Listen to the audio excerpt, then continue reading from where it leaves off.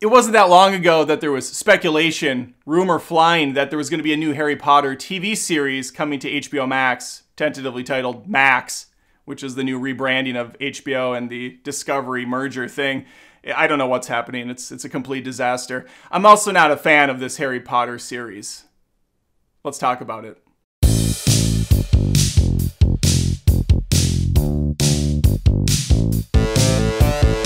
In a press release today, it was uttered that there would be a decades long, a decade spanning, which is 10 years for those that are stupid, uh, TV series following all the Harry Potter books.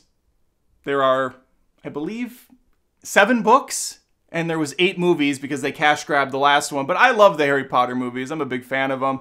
I'm not a big fan of this news. It's way too soon to do something so so ridiculous. I understand book purists want to get more bang for their book, and they're probably going to get that with what I would assume are going to be hour-long episodes, hour plus maybe, we'll see. That doesn't necessarily mean they're still going to follow the books to a T. I thought the movies did a bang up job. Yeah, they took out key ingredients. They they swapped some character arcs here and there. They looked over stupid Peeves the Ghost. I never liked Peeves the Ghost, but if you're peeved about that, you're probably going to get him in the TV series. They are recasting Harry, Hermione, Ron, the whole the whole gang. I'm worried about this because those movies were such a love letter to not only the books but to, to film in general, to cinema. You had top tier actors, a lot of which are dead now, which is very depressing to think about. When I watch those movies, I'm like, and he's dead and she's gone, and he's on his way out. It's not fun.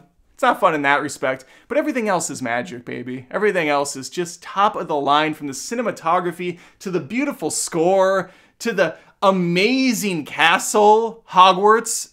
Everything about it was just knocked out of the park. So to scale it down and claim that you're still going to do the book's justice, I just, I kind of balk at it, is what I say. Good luck good luck getting that kind of quality and that kind of acting. I'm not saying it's impossible, Kim.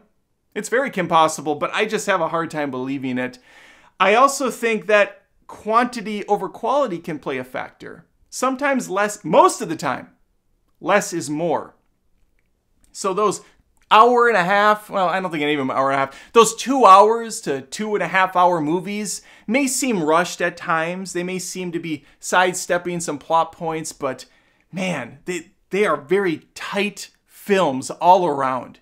So this news is not tickling me the right way in my swimsuit area. Quite the contrary. It's like being punched in the nuts. And I'm not the kind of guy that likes that. Here's the bottom line.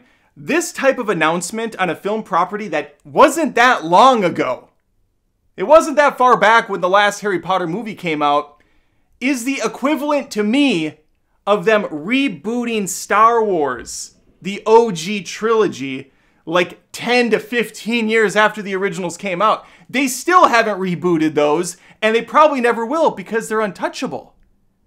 I, it's kind of like Indiana Jones or Lord of the Rings. You don't want to you don't want to mess with that. Instead, you do like a crappy Rings of Power spin-off. And that's kind of hoping what they were going to do here. There's so many stories you could tell there's all these different magical schools. Why are we so stuck on Hogwarts? Because we have source material? Whoop-de-doo! Make new material! There was a damn fine game that came out, Hogwarts Legacy. It takes place at Hogwarts, but it's about an entirely different storyline, different characters. It's very well done. Why not just take that and make it the show? I have a lot of concerns, is the bottom line. I want to know what you think, though. Let me know in the comments. Are you excited about this? You you happy that you can get another? Maybe you didn't like the movies, and that's that's fair. That's fine. They're not for everyone. So you, are happy for a fresh start, a do over. I just don't think it's gonna work. I don't I don't think so. And and to kind of maintain it for ten years, which is the plan. Each season is gonna have a book to its name or more. Apparently, that's tough to maintain those actors to keep that story quality good. The the cinematography, the music, everything has to fall into place for this all to work out. And I just, I don't see it. I don't see it. Let me know, like the video, subscribe, all that crap, and hopefully I catch you next time.